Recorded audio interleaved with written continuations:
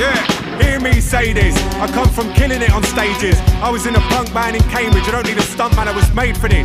Try taking me away from this. I can't put a foot wrong cause I'm nailing it. It's not a coffin I'm laying in. Live courageous and I don't mind saying it. I don't cooperate with terrorism from any organism. Respond with wisdom and dwarfism, but sorely will they listen. Living in a poorly system, and we get stalked by the kingdom, CCTV citizens. And there's more immigrants, cause they fled from where there's more dead innocents, and our boys destroyed their villages. Hard bastards turned to scarred witnesses, haunted by images from war zones they've visited.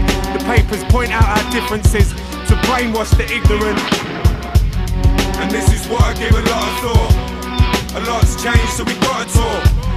Since I was born in 94, I've never seen a war worth fighting for. Even when I've had a lot to drink, it's still the same, so we gotta think. We're ruled by psycho politics.